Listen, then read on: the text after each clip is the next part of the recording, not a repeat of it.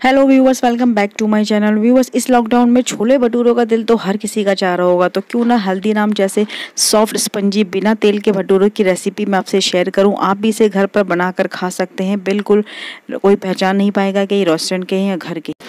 अगर आप मेरे चैनल पर नए हैं तो प्लीज़ सब्सक्राइब का बटन ज़रूर क्लिक कीजिए और ये जो बेल आइकन है, आप इसको भी दबा लीजिए, इससे मेरी नई वीडियो का नोटिफिकेशन मिलता रहेगा। तो व्यूवर्स घर में हम छोले भटूरे की रेसिपी बनाना स्टार्ट करते हैं, जिसके लिए हमें काबुली चना चाहिए होगा, जो कि आपको किसी भी किराना स्टोर से मिल जाएगा आसानी से, और इसे हमने रात को भिगो दिया था, यानी आपको रात भर इसे पानी में भिगो के रखना है। अगर आपके पास इतना टाइम ना हो तो आप तीन घंटे से भिगो लीजिए। अब इसे हमने अच्छी तरह से वॉश करके, इसमें हम वन टी सॉल्ट डालेंगे। और व्यूवर्स क्योंकि रेस्टोरेंट स्टाइल बना रहे हैं तो काला रंग जो होता है लोग तो लोग इसमें आंवला डालते थे, लेकिन हम इसके अंदर चाय की पत्ती का पानी डालेंगे। जी हाँ वन टीस्पून आप पानी को बॉयल कर लीजिए, इसमें टी बैग हो तो टी बैग डाल सकते हैं, लेकिन बहुत से घरों पर अवेलेबल नहीं होता। देखिए सिंपल चाय का पत्ती का पानी आपको उबाल कर इसमें डाल देना है, जो कि बहुत ही अच्छा कलर आएगा। और फिर हमें इसमें सोडा डालना है ताकि छोलों को गलाने के लिए हाफ़ टी स्पून हम इसमें बेकिंग सोडा डालेंगे। बस इसे कवर करके इतना ही पानी आपको डालना है और चार से पाँच विसल यानी उस पर आपको बॉयल करना है। अब हम भटूरे का आटा तैयार कर लेते हैं डो जी हाँ जिसके लिए हमने दो कप मैदा यानी ऑल पर्पज़ फ्लार लिया है।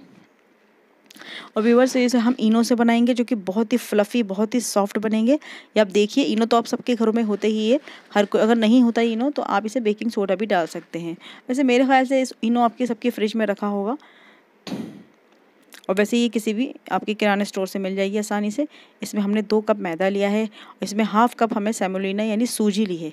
इसको ज़रूर डालिएगा व्यूवर इससे बहुत ही क्रंची सोले भटूरे बनते हैं हमारे भटूरे। और इसमें हमने दही लिया वन फोर्थ टी स्पून और वन टी हाँ वन टी हमने सॉल्ट लिया है इसे ऐसे अच्छे से मिक्स करेंगे। और इसके मिक्स करने के बाद हमें नीम गर्म पानी लेना है और नीम गर्म पानी डाल के इसके साथ हमें इनो मिला देना है। ये देखिए किस तरीके से हमारे आटा फूल गए थोड़ी देरी से दो तीन मिनट इसे रख के हम इस पर इसका आटा तैयार कर लेंगे अच्छे से हाथों को मसल के और बहुत ही सॉफ्ट बिल्कुल ढाबा स्टाइल बना है। अब हम छोले, हमारे जो बॉयल हो रहे हैं, इसकी हम तड़का तैयार कर लेते हैं। इसके लिए हमने एक प्याज ली है, तीन हरी मिर्च लिए हैं, हमने दो टमाटर लिए हैं और अदरक का टुकड़ा लिया है, दो इंच का। बस इनको हमें सात पेस्ट बना लेना है। मिक्सी ग्राइंडर में इसका प्याज को ऑनियन को और अदरक को पीस के एक पेस्ट बना लेना है। देखिए, हमें कोई अलग अलग भी नहीं डालना, बहुत ही जल्दी बन जाते हैं छोले।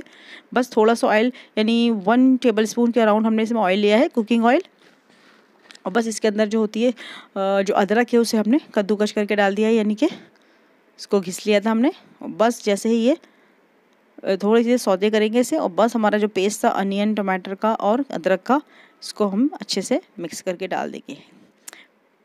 कम टाइम में भी बस छोले बनकर तैयार होंगे, आप मज़े खाते रह जाएँगे कि रेस्टोरेंट के या घर के हैं। भी बस यहाँ पर एक बात का ज़िक्र करते चले कि हमारा एक चैनल देख भाई देख भी है, आप उस पर जाकर और भी नई नई वीडियोस एक्सप्लोर कर सकते हैं।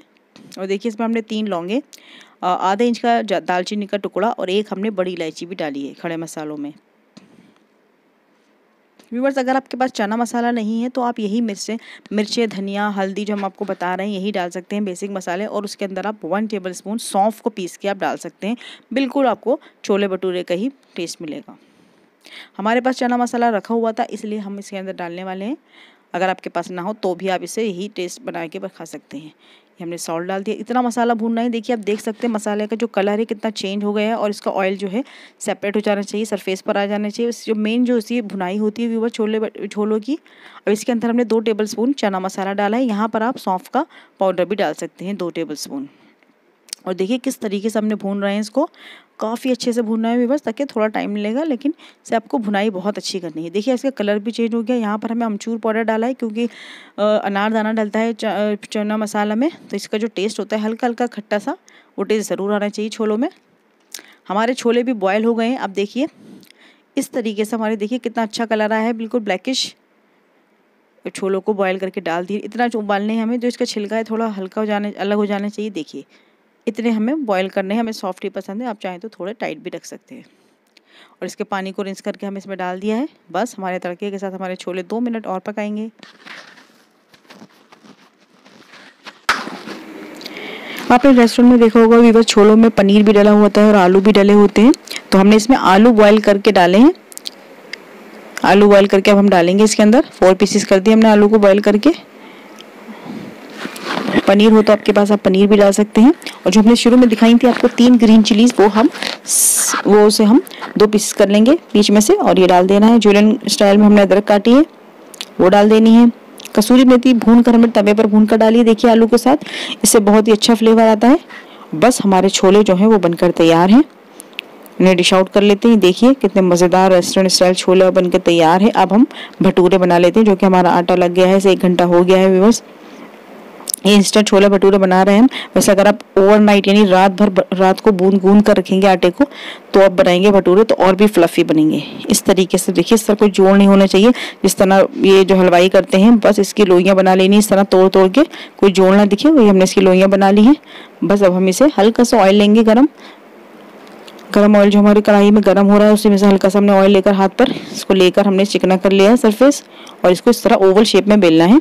भटूरे का ये होता है, थोड़े किनारे इसके मोटे रखने होते हैं और आप हाथ से जब इसे उठाएँगे तो इसके थोड़ा चीर लीजिएगा, इसे खींच लीजिएगा। देखिए, हमारे कढ़ाई में बड़ी कढ़ाई ली है उसमें कम ऑयल लिया है, उसमें हाफ़ कढ़ाई में, बड़ी कढ़ाई में हाफ़ ऑयल लिया है, हमने ज़्यादा ऑयल नहीं लिया। बस इस तरीके से डालिए ऑयल को आप करची से इस तरह डालते रहेंगे तो आपका भटूरा खुद ब खुद फूल जाएगा। ये देखिए, कितना फ्लफी भटूरा हमारा बना है और ये बहुत ही सॉफ्ट है। और सूजी की वजह से थोड़ा क्रंची भी बैठेगा नहीं। ये हमारा भटूरा बन गया बस वन बाय वन हम इसके अंदर भटूरे बना के तैयार कर लेते हैं। व्यूवर्स हमारे चैनल पर छोले भटूरे की रेसिपी पहले भी डली हुई है, जिसका लिंक मैं आपके डिस्क्रिप्शन बॉक्स में दे दूँगी। उसमें भी मैंने आपको ये अलग तरीके से छोले भटूरे बनाने सिखाए हैं। और ये थोड़ा ज़रा फास्ट एंड ईजी बताइए, मैंने कि लॉकडाउन में आप किस तरीके से बना सकते हैं जब आपके पास कम इन्ग्रीडियंट्स हो। तो व्यूवर्स ये देखिए हमारा भटूरा फूल गया है। अब इसको भी निकाल लेते हैं और ऐसे ही हम अपने सारे भटूरों को फ्राई कर लेंगे। गर्मा गर्म सर्व करेंगे। देखिए, बस आपको ऑयल को इसके ऊपर डालते रहना है। देखिए कितने कम तेल में भी हमने भटूरों को कितने अच्छे से फुलाया है। ये देखिए, बहुत ही अच्छे हमारे भटूरे बने हैं और इसे खाने में बहुत ही सॉफ्ट है। और इसमें सबसे अच्छी बात है कि इसके अंदर तेल नज़र नहीं आ रहा है। क्योंकि भटूरे में ऑयल ही ऑयल होता है, अक्सर आपने जो मार्केट में खाया होगा लोकल जो होते हैं, वो देखिए, ये कितने अच्छे हमारे सॉफ्ट बने हैं फ्लफ़ी और जब हम इसे तोड़ेंगे तो इसके अंदर आपको ऑयल बिल्कुल भी नहीं दिखेगा। बहुत ही स्पंजी बहुत ही, इसको कहते हैं ना ड्राई भटूरे बने हैं। देखिए, तोड़कर हम आपको दिखाते हैं। इसकी फर्मेंटेशन अंदर देखिए जो दही डाला था हमने इसे बहुत ही टेस्टी ज़रूर ट्राई कीजिएगा व्यूवर्स अपनी फैमिली एंड फ्रेंड्स में मेरी वीडियो को शेयर कीजिए। Thank you for watching